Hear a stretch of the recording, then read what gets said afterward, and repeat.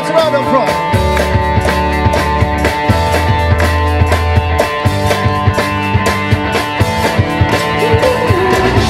Well, she was an